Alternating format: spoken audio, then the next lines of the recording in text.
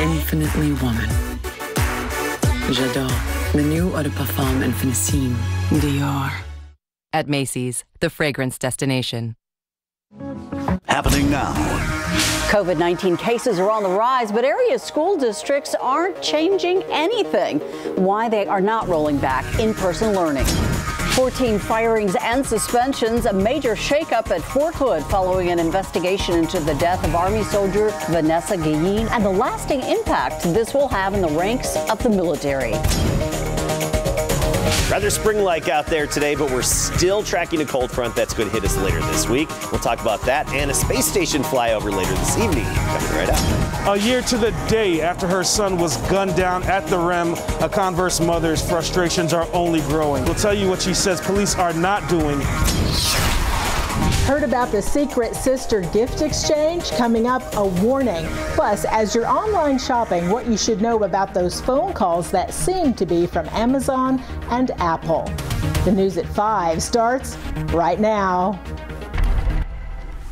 And first at five, bars must close down. That's what Bexar County Judge Nelson Wolff is ordering as of Thursday night. The new executive order requires all bars and similar establishments that hold a Texas Alcohol and Beverage Commission permit and are not defined as a restaurant to close until further notice.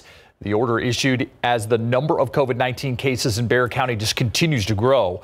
We have more to cover on the pandemic coming up. But first, A mother who lost her son is convinced that San Antonio police homicide detectives are not doing enough. One year after Savon Kyle was killed, his mother says she's taking matters into her own hands. Kyle was shot and killed in broad daylight at the Rim Shopping Center exactly one year ago today. His mother tells our Devin Clark she has hired her own private investigator to dig up clues to help in this case. Yet her son's killer has yet to be charged. I went in an uproar. I had kids here. I was screaming. Latanya Kyle recalls the horrifying moment exactly one year ago when a normal day at her Converse hair salon took a tragic turn for the worse. And when they called, it was like, pick up the phone. They shot Vaughn. Her son, Savon Kyle, an up and coming rapper known locally as MG Vaughn, was killed after being shot multiple times at the Rim Shopping Center. It was broad daylight. Kyle's then eight year old son also in the vehicle, though unharmed. Since the day Latanya lost her firstborn and only son, her frustrations have only grown. They don't want to work with us. That claim is against San Antonio police homicide detectives, who she says are not following up on leads she's presented to them in order to solve the murder. I hired a private investigator, so therefore I know.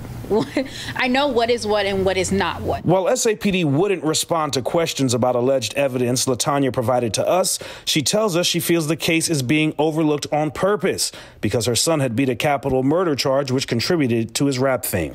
A week prior to Vaughn's death, I told him if something was ever to happen to you, it would be so hard because I know they're not going to do nothing in regards to this. Why?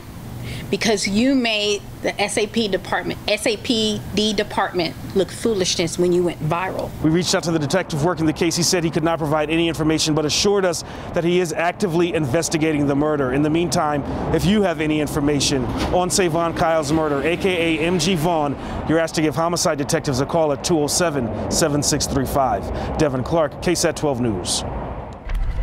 22 year old man now behind bars in Hays County after he was caught driving a Jeep believed to be stolen from San Antonio. Jacob Anthony Fuentes, arrested in San Marcos yesterday morning, accused of driving recklessly on I 35, reaching speeds of 100 miles an hour and refusing to pull over for a traffic stop. San Marcos police say Fuentes led officers on a short chase through several apartment complexes but he ended up ditching the Jeep while it was still rolling, leaving it to crash into a parked vehicle. No one was hurt. Fuentes arrested on several charges a short time later. A 27 year old man accused of robbing a Pizza Hut using a paintbrush disguised as a weapon. Now facing charges. This happened last night at the Pizza Hut on Roosevelt Avenue near Mission San Jose. Investigators say Jacob Matthew Garza went into the restaurant, pulled an object from his waistband, and demanded cash. An employee believed that object was a gun and complied. Garza got away with some cash. He didn't get very far, though. Officers caught up with him just three blocks away. As COVID cases and positivity rates rise in San Antonio, some of the biggest San Antonio school districts are staying the course this afternoon. Metro Health puts the school risk level at high, which includes a recommendation against in person instruction. But some districts tell our Garrett Brnger they do not plan to roll back. For Northside ISD, it continues to be school as usual. Well, as usual for the pandemic. Right now, our intent is not to change our plans. We are not looking at any plan that would have us in an all virtual model. The district had previously put a hold to bringing any more students to campus, and those who wanted to return in January are waiting to hear when they'll be allowed to come in. But those already there can stay. Balance the need to keep students and staff safe with the need to ad- address those instructional needs, the emotional needs, the nutritional needs of our students. And districts appear to be holding the view that the pandemic holds more danger outside of school walls. San Antonio ISD's superintendent told staff that the district's testing programs show a much lower positivity rate than the community as a whole, just 1%. And Northeast ISD says it hasn't seen much transmission on campus. We're staying open because our data shows there's no spread. We're staying open because our safety protocols are effective. In any case, districts don't have total power to close it all down. Texas Education Agency guidance allows schools to temporarily switch to remote learning only for things like an outbreak on campus. But proactively switching to remote only could affect state funding if they don't make up the time later in the year. But I will tell you that the, the biggest uh, factor in any decision we make is not going to be the, the financials, it's going to be the safety of students and staff. And no matter the local guidance, it's the district's view of that safety that'll count. Garrett Brnger, KSAT 12 News.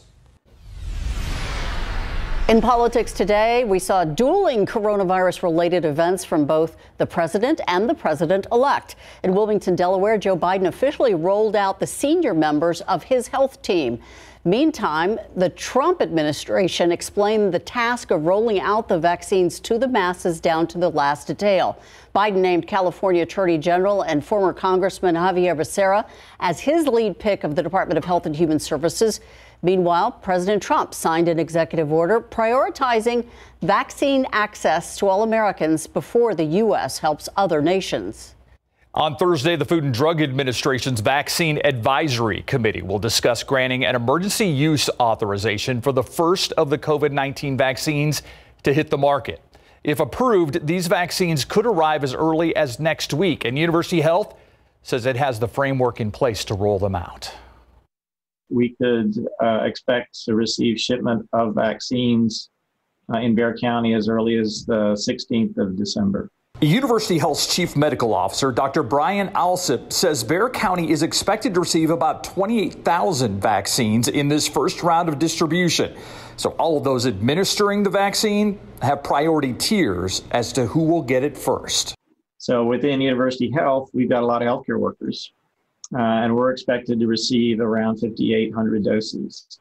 Now, that will cover a significant uh, portion of our staff and probably uh, most of what we would consider the first tier, which are those that have direct face-to-face contact with COVID positive patients. Alsip says the key is making sure to keep track of those who get the vaccine since they'll need to get a second one in approximately four weeks. However, they will not be saving half of what they get now for then there are specific instructions from both the state, uh, the federal government, and the manufacturers that you are to use all of that you're uh, administered in that first round, and that essentially they will be allotting vaccines for the second dose based on the usage of the first dose. And as far as how soon it will be available to the general public, Alsip said it's too early to say. It probably will be sometime in the spring that we'll start to see uh, a greater availability, both uh, more volumes of these two vaccines that are fairly early out of the gate, uh, as well as uh, additional anticipated authorizations of the other vaccines. Alsip says as far as University Health goes, staff there will distribute doses like they did the flu vaccine. He also wants people to know the vaccine does not replace wearing masks and social distancing, but is another tool in the fight against COVID 19. And speaking of COVID 19's vaccine, we want to know what questions you have on the topic. That's why this Thursday, December 10th, Isis Romero is hosting a COVID 19 vaccine town hall and live stream discussion with local health experts. It starts at 7 o'clock. You can watch on KSAT.com or on the KSAT TV app found on your streaming device. And right now, you can submit your questions on our website. Just go to KSAT.com and look for the story on the homepage. Now to the latest on all the controversy at Fort Hood, an investigation into patterns of sexual assaults as well as harassment at the Army base in Killeen, now resulting in 14 firings and suspensions. As Romina Puga explains, this review came in the wake of the alleged murder of Specialist Vanessa Guillen and could spark a change in culture. A dramatic purge to correct a command culture at Fort Hood Army Post was announced today after an investigation following the death of Specialist Vanessa Guillen. 14 senior Army leaders, including a two star general, were fired or suspended after a review of conditions at Fort Hood, including Guillen's alleged murder and a series of sexual assaults, sexual harassment, and suicides. I've determined the issues at Fort Hood are directly related to leadership failures. Leaders drive culture and are responsible for everything the unit does. Army Secretary Ryan McCarthy said five civilians took part in the extensive review. The murder of Specialist Vanessa Guillen shocked our conscience, conscience and brought attention to deeper problems. It was back in late April when 20 year old Guillen was reported missing. It was another two months before her remains were found. Officials say she'd been murdered. Her family has claimed she was sexually harassed at Fort Hood, but didn't report it to her superiors because she feared retaliation. The Army has said there was no evidence supporting the claim. The suspect in her death, Specialist Aaron Robinson, died by suicide in the summer as police were attempting to take him into custody. This report, without a doubt, will cause the Army to change our culture. The Army Secretary also announced the creation of the People First Task Force that will carry out the committee's findings. He says these changes will impact the entire Army of more than 1 million soldiers and their families. Romina Puga, ABC News, Los Angeles. The United States Supreme Court rejecting a final effort by Republicans to reverse Pennsylvania's certification of President elect Joe Biden's victory. Republicans argued the state's vote by mail law was unconstitutional because it required a constitutional amendment to authorize. But the High Court has refused to call into question Pennsylvania's certification process. The state's electors are scheduled to meet December 14th to cast their votes. And despite today's rejection by the U.S. Supreme Court, Texas State Attorney General Ken Paxton filing a lawsuit against four states over their 2020 general election results. Paxton is suing the states of Georgia, Michigan, Pennsylvania, and Wisconsin, claiming officials relaxed ballot integrity protection laws to skew election results in each of those states. He's asking the U.S. Supreme Court to block those states from voting in the Electoral College. However, claims of voter fraud have been rejected by federal judges, voting experts, and election officials in each of those states. This year, holiday shopping might be a little less in store and a little more online. And while you're browsing and buying the perfect gifts, you might unknowingly be making yourself the perfect target for scammers. What to look out for next. KSAT Salute holiday greeting is brought to you by Blue Ribbon Auto Collision Center. Hi, my name is Danielle Armour. My daddy works for Blue Ribbon Auto Collision. I want to thank the military and all the other people who help us. I just want to say Merry Christmas and Happy New Year.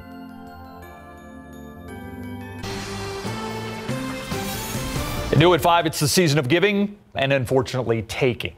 As you're shopping online, scammers are using the names of two big companies to try to rip you off. 12 on your sides, Marilyn Moritz on three holiday schemes, including one called the Secret Sister Gift Exchange. Order something through Amazon? Scammers are counting on it. As we're shopping online more than ever, scammers are seizing the moment. Listen to this timely robocall. An unauthorized purchase of an iPhone XR 64 gigabytes for $749 is being ordered from your Amazon account. It's not Amazon. The FTC says it's an imposter trying to get your account or credit card number. Holiday shopping on an Apple device? Cons are banking on that too. The FTC says if you get this call about suspicious activity, be suspicious. Your iCloud account has been breached. Before using any Apple device, please contact Apple Support Advisor. Press 1 to connect with Apple Support Advisor. Do not press 1. Do not call the number they provide. Imposter scams like that are rampant. The FTC says last year people lost more than $600 million because they believed those fake calls. Now, another holiday heads up the Secret Sister gift exchange. It starts with an invitation on social media. You can receive up to 36 gifts. All you buy is one. You provide your info and that of a few friends and pass it along. Sounds fun, but the Better Business Bureau warns it's an illegal pyramid scheme. We don't want people to be a Grinch. We just want you to know that uh, it could turn into something very sour very quickly when you're sending gifts to people you really don't know that are part of this list. It's nice to give, but the BBB says this invitation is one to decline. Marilyn Moritz, KSAT 12 News. Live look outside. We are getting ready. I don't see any Christmas lights yet. Really? Yeah, not in this shot. Well, of course, yeah. not in this shot, but they're yeah. out there. I know. I think, I think a lot of people maybe are going all out with the lights yes, because there's, you know, we're at home, we're looking for things to yeah. do. And with weather like distracts this. Distracts from pandemic. Yeah. Yeah, we could all use a boost. And I noticed the lights were definitely out a couple weeks earlier than usual in many areas. And we do have ideal viewing for Christmas lights this evening again, but also a brief flyover of the International Space Station. We have a flyover tonight. It's going to be a brief one, but set your alarm for 7:10 p.m. That's when it starts. It's only going to last three minutes. Look to the northwesterly sky. It's going to appear to the northwest and dis- disappear to the south southwest. So 7 10 p.m. It looks like a really bright star just quickly moving through the sky. That's what it looks like. All right, so get the kids out there 7 10 p.m. That's before bedtime. You'll be good to go. All right, take a look at temperatures across the state. It was cool this morning. We even dipped briefly below the hill country or below freezing in the hill country.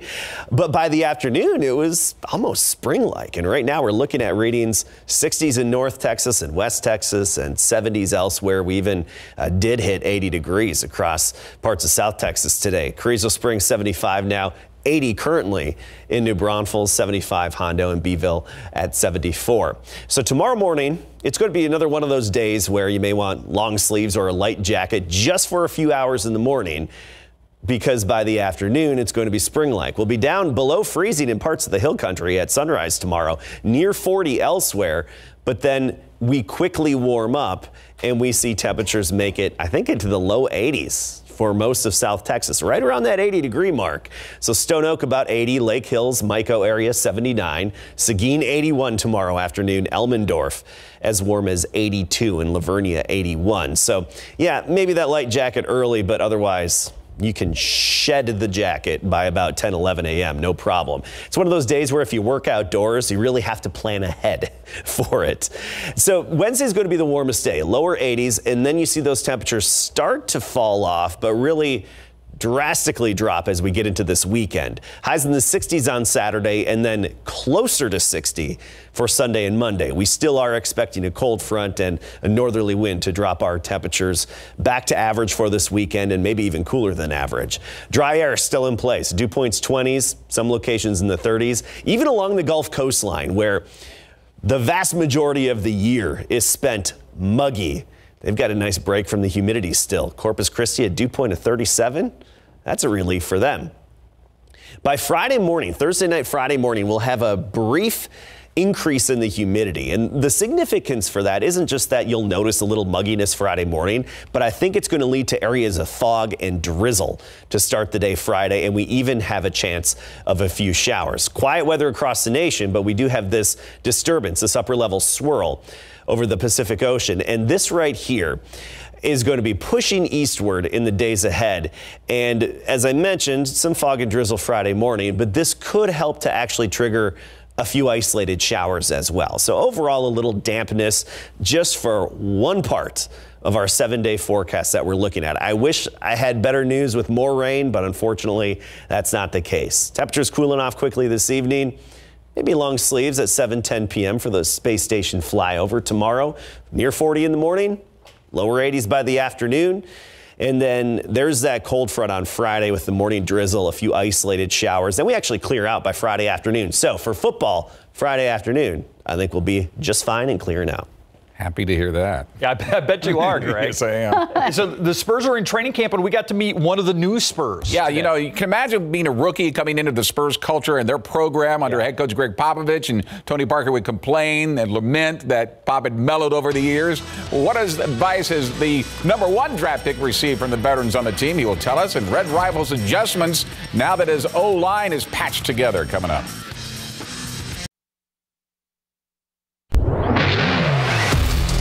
As the Spurs continue their training camp, part of the work is getting draft picks Devin Vassell and Tre Jones familiar with the Spurs culture and terminology. With everything delayed due to the COVID 19 pandemic, there hasn't been a lot of time to prepare them for their first professional season and first preseason game this Saturday, especially if you are Vassell, who is the Spurs' first lottery pick since Tim Duncan back in 1997. What advice had the veteran players such as DeMar DeRozan and Rudy Gay been able to give him early on? Don't put too much pressure on yourself. I mean, right now we're in a unique situation. Um, you know, we had a week and a half. About a week and a half until our first preseason game. Um, so really, just come in each day, have fun, um, and just learn and get better each day. All right, with at least four players down with injuries or recovering from offseason surgery, Vassell could see playing time this Saturday against OKC at six at the AT&T Center. Pro football coverage powered by Davis Law Firm. The Dallas Cowboys face the Ravens in Baltimore on their first Tuesday night game tonight. That game having to be pushed all the way back from last Thursday after the Ravens game against the Steelers had to be postponed until last Wednesday due to the COVID outbreak in Baltimore. Keep in mind the last time the Cowboys played was on Thanksgiving Day when they fell to their rivals, the Washington football team, 41-16, scoring only three points in the second half and just one touchdown the entire game. Part of the problem is the Cowboys lost two offensive linemen on the first series, Cam Erving and Zack Martin. And now the Cowboys have placed Martin on injured reserve, which means he will miss the next two games at least with a calf injury and might be done for the season. Backup quarterback Andy Dalton was asked if he feels he will have to get the ball out of his hands more quickly this week with all the O line injuries. You trust the guys that they're going to get their job done, and so. Um, yeah, I, I, think it just comes down to knowing what we're doing, knowing the offense, knowing the the play design, and and, and making those quick decisions. Now that the interim head coach Romeo Crennel has had a chance to review game film, what is his opinion now on the low snap to Deshaun Watson that resulted in a fumble and cost the Texans their win over the Colts? I think the difference was that it was to his left side instead of to his right side. If it had been to his right side, I think he would have been able to to handle it. But because it was to his left side, he had to go across his body hardest thing for a quarterback in that situation, not just getting the snap and the shotgun formation, but he's eyeing the defense at the same time. So he's expecting the snap in this area. When it comes in low, now you have to find it. And unfortunately, couldn't in time. Remember the good old days when if you were in the red zone, you went under center? Always. Yeah. Yeah. I'm Just not happening anymore. we'll be right back. Space Station flyover, 7:10 p.m. Only lasts three minutes. Take get the kids outside. Another warm day tomorrow afternoon in the 80s. Cooler by this weekend, and a slight chance of rain Friday morning. We could have a little dampness. Thanks so much, Adam, and thank you for watching the news at five with us. World News up next. We'll see you back here at six.